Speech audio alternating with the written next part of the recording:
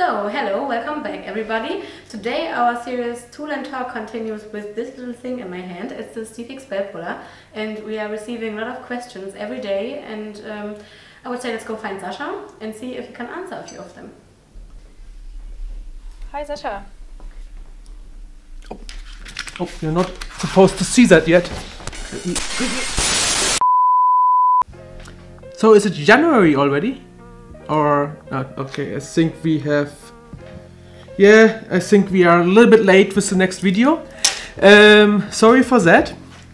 We had a lot to do, we are working on a lot of new products and unfortunately we didn't have enough time to do the videos. So we hope to do the videos somewhat regularly again. And I think you had a topic to talk about today? Yes, exactly. We want to talk about the Zieh-Fix bell puller and we have a lot of questions for you. The first question is, how and when did the idea of the Zieh-Fix bell puller begin? When exactly, I'm not sure. I think it was somewhere before 2000, so 1986 was the foundation of the company. We produced the Zieh-Fix and I think like uh, seven or ten years later we started to do the bell puller. The idea was just to improve on the Zieh-Fix idea, to make it easier to use and to make it um, less painful if you don't use it correctly. With the uh, original Zieh-Fix you had the problems that you have two screws and depending on how you would screw them and if you would do something wrong you would break the screw of the tool. So with um, the change to the bell puller we wanted to do it in one screw and to make sure that it's easier to use. Okay, thank you. I think let's go to the production and take a look where and how everything is produced.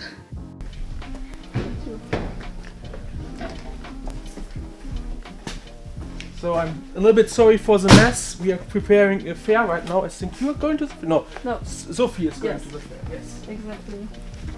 So the production is already empty. So at this time most people of the production are already gone home, or not? There is it. All good. This is the production area. I think we showed this before in a different video.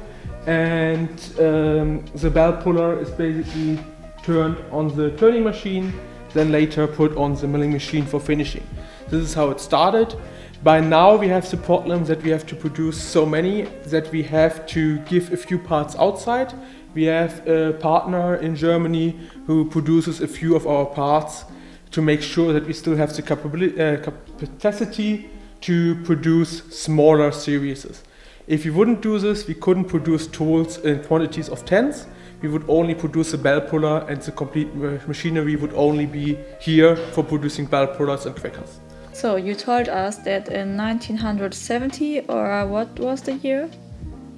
1997 around, I think, ish. I'm not completely sure. It could be uh, roughly around the 2000 the bell puller was started. Yeah, so I think something have changed over the years. Maybe you can tell us something about that have changed? Um, the main part that have changed is uh, the um, thread inside. Before we used always an M12 thread, which is a very common thread. Um, but because of the force needed to destroy the locks, we have changed from an M12 to an M14 and even to a special type of M14, also specially hardened to survive this power. Um, with that, uh, I think also some other manufacturers are still using the M12 thread, but we have completely changed to the M14 thread, which is also needed for the pitbull screws if you are pulling locks in Switzerland, for example. Very interesting. I think not all of us knew that. So what about what do you exactly do with the Zieh-Fix bell puller? Do you have some examples of use for us? Sure. Um, you can use the bell puller to just snap the lock into parts. So you pull on the lock so that it's is getting snapped into parts and you can use a metal key or plastic key to open the door or you can use the bell puller to pull out the core of the lock and then use a screwdriver to open the lock. And how do you know that you have to use the Zieh-Fix bell puller and not, for example, the classic Zieh-Fix? What is the best time to use the Zieh-Fix bell puller? Um, the Zieh-Fix bell puller can be used instead of the original Zieh-Fix. So they are both a product which fills the same needs. The only thing is if you are a firefighter, for example, if you are a new locksmith, you would prefer the bell puller because it's easier to use. Uh, you have less problems with uh, making errors. And uh, the original Zieh-Fix we basically mainly produce for the uh, um, clients that are around with our company for more than 30 years now. Uh, because we don't think it's it's nice towards them if you would say we stopped the original Zieh-Fix, you can only buy the bell puller now. No, we have to give the support and we are able to change the tool. So also we are offering if the original Zieh-Fix getting broken at one point, you can send it to us and for a smaller price you can get a new one.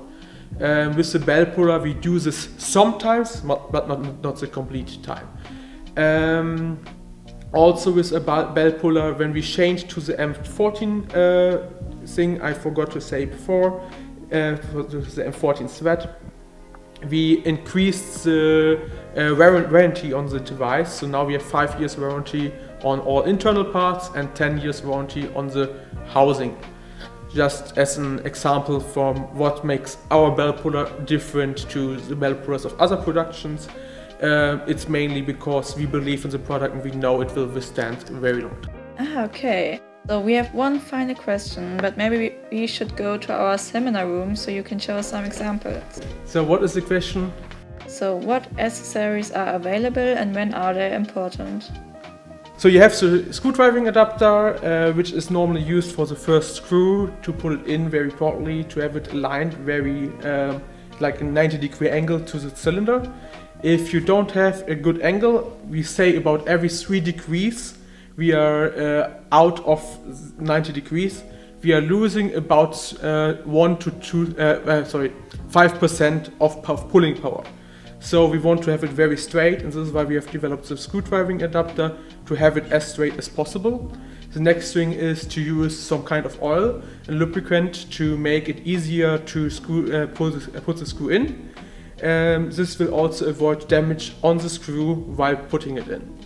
And then when you use the bell puller, it's very important to use the washers as well.